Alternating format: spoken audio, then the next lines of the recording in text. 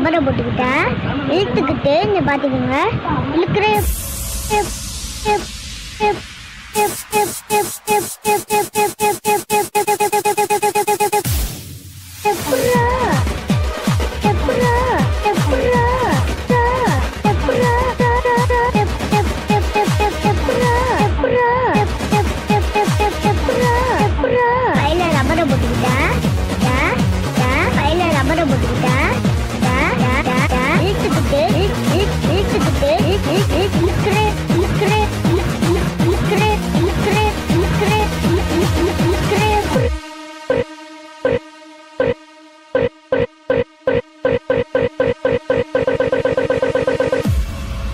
No.